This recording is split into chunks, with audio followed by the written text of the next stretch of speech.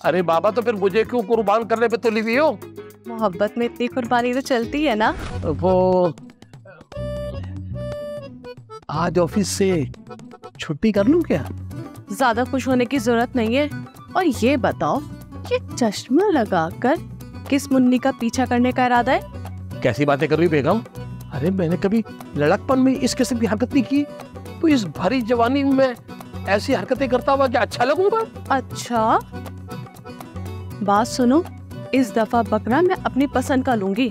आखिर सुबह सुबह क्या चाहती हो तुम? बकरा ईद आने वाली है ना? तो फिर? मैं चाहती हूँ इस दफ़ा ईद कुछ हटके मनाऊं। इस बार मैं पूरे पाँच बकरे लूँगी। हटके मना लो जरा मुझसे जरा पीछे हट जाओ। है? पाँच बकरे? अरे अरे एक ही आ जाए ना तो वो भी बहुत है।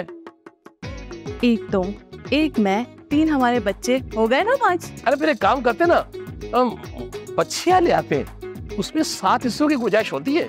ना बाबा ना। तीन बच्चे वही काफ़ी है। अरे बाबा तो फिर मुझे क्यों कुर्बान करने पे तुली हुई हो? मोहब्बत में इतनी कुर्बानी तो चलती है ना। मैं बेगम कभी तो मैं सोचता हूँ कि मैं एक ना सीढ़ी खरीद लूँ। तुमसे बात करने में ना मुझे प्रॉब्लम होती है।